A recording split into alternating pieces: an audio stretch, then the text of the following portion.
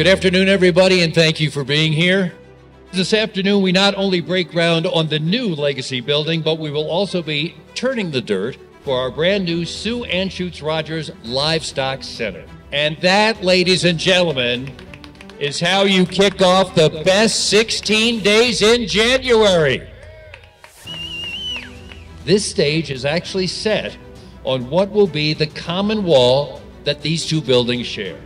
We started this campaign six years ago, and it really is indeed a cause and a reason to have a great celebration. And I just can't tell you how delighted I am that you all have come to join us. The Western Stock Show Association Legacy Building, slated for completion in 2025, will serve as a home to all members of National Western family. It'll be a gathering place, a gallery, a watering hole for friends, cowboys, and art lovers.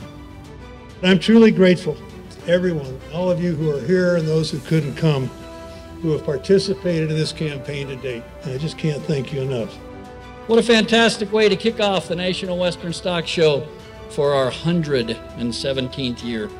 These two buildings are vital to us completing the vision of the stock show for the next 100 years, and I could not be more thrilled to be breaking ground on our new home. The National Western Stock Show represents the West as it was, as it is, and as it will be. The building of the National Western Center, which also includes the yards and the equestrian center, will transform and invigorate this old complex into a regional, national, and international focal point capable of carrying and expanding our rich legacy into the century ahead. Let me extend a special welcome to our donors, members, trustees, exhibitors, producers, Fellow Stock Show Association board members, this is a special day.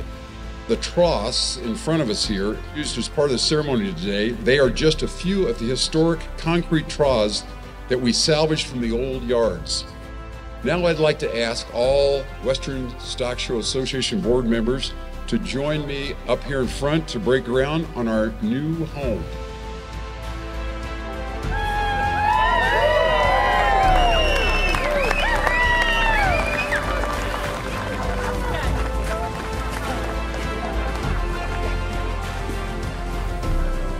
And now, ladies and gentlemen, we will break ground on the new Sue Anschutz Rodgers Livestock Center.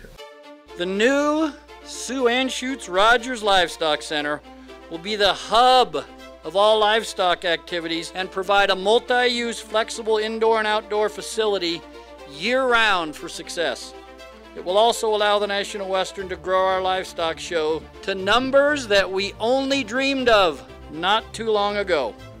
Sue Ann Anschutz Rodgers has been a National Western and stock show fixture for decades. She's been a long-time member of our board of directors. In 2006, she was the first woman to be named Citizen of the West in her own right. We're thrilled to have Sue's family, friends, and colleagues joining us today.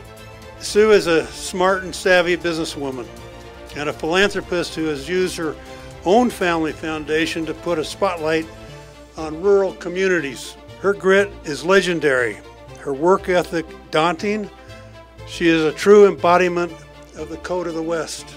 As chairman of the Western Stock Show Association, it gives me great pleasure to declare January 6, 2023, Sue Anschutz Rodgers Day in recognition of her outstanding contributions to the National Western Stock Show and the preservation and advancement of the heritage, culture, work, ethic, and values of the West. Thank you very, very much for such a very nice honor. But this is not about me.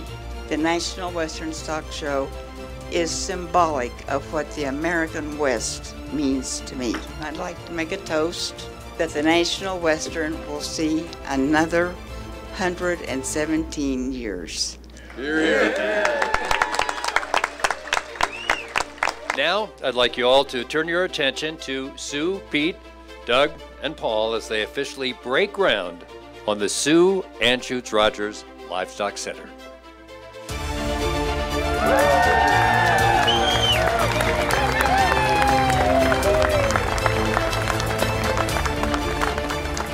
Please make sure you grab some snacks, some drinks, and onward to the best 16 days of January.